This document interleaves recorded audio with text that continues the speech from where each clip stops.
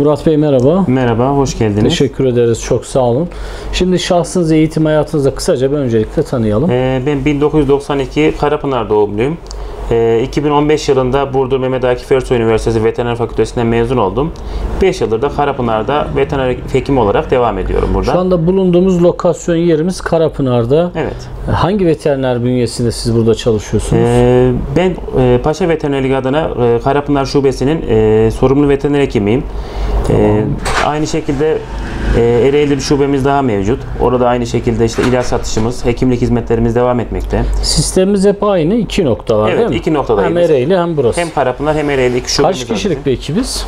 Ee, 3 6 kişilik bir ekibimiz var bizim 6 burada. kişilik evet. bir uzman kadroyuz. Evet. Murat Bey bölgede anladığım kadarıyla ciddi bir büyükbaş küçükbaş e, Evet. hayvan bakan e, tamamen insanlar var bölgede.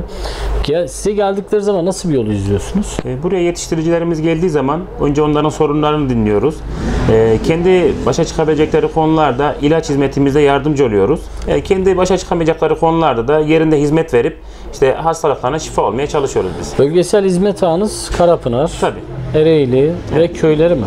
Evet civar köyleri yaklaşık Karapınar'da 100 kilometre çapta e, 50 kilometre kuzey 50 kilometre güney diyebileceğim Evet. çapta bir hizmet alanımız var bizim şu anda. Bölgede nasıl izleniminiz bir veteriner hekim olarak sizin büyük baş, küçük başta insanlar bilinçli mi bu konuda?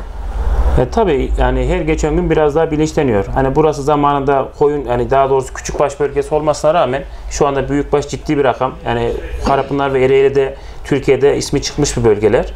O yüzden insanlar her geçen gün daha iyi, daha güzel hizmet almak için çaba sarf ediyorlar burada. Vatandaşlarımız e, hastalıklarda özellikle karşılaştıkları sorunlar oluyordur mutlaka. Sizin gözleminiz nedir? Böyle yıl içerisinde yaşadığınız sıkıntılar oluyor mu bölgede? Yani gözlem biraz olarak? yani yaşadığımız sıkıntılar insanların yani yetiştiricilerimizin bilinçsiz olmasından kaynaklı. Yani biz de gerekli şeylerde aşılama problem, problemleriyle bunları halletmeye çalışıyoruz yani. Evet. Çözümler hep aşılama Evet, sorunu. aşılamayla çözmeye çalışıyoruz. Güzel. Peki şimdi hizmet ağınızda e, dikkat ettiğiniz unsurlar ne sizin firma olarak? Müşteri memnuniyeti önemli çünkü. Evet. Neye dikkat edersiniz? Burada sattığınız ürünleri nerelerden tedarik ediyorsunuz mesela? Yani bizim kendi depolarımız var. Hani Türkiye çapında çalışan depolarımız var. Bizim yıllık anlaşmalarımız var. Bu yıllık anlaşmalarla işte ne kadar ürün gidecek işte yıl başında belirleyip ona göre ürün tedariğimizi yapıyoruz. İşte vatandaşlarımıza da yetiştiricilerimize de o şekilde ürün tedariğimizi sağlıyoruz şu anda. Bölgede gözlemlediğiniz hastalıklar oldu mu hiç bu zamana kadar ciddi yaşadığınız sorunlar oldu mu? Yani tabii e, büyük baş olsun, küçük baş olsun dönem dönem belli hastalıklar çıkıyor. Hani bazı zoonoz hastalıklarımız çıkıyor, bulaşıcı hastalıklarımız çıkıyor. Yani şu an mesela en basitinden e, koyunlarda üreme sütü doğum sezonu başladı. Ha, ciddi bir atık problemimiz, abort problemimiz var.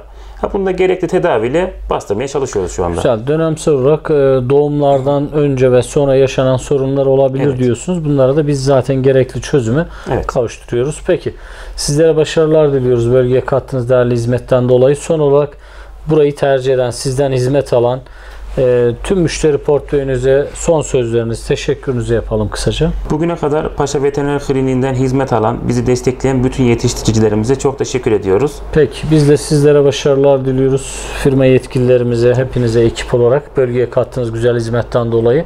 İlerleyen süreçte farklı bir röportajınızda buluşmak dileğiyle ağzınıza sağlık. Çok Teşekkür sağ olun. ederim.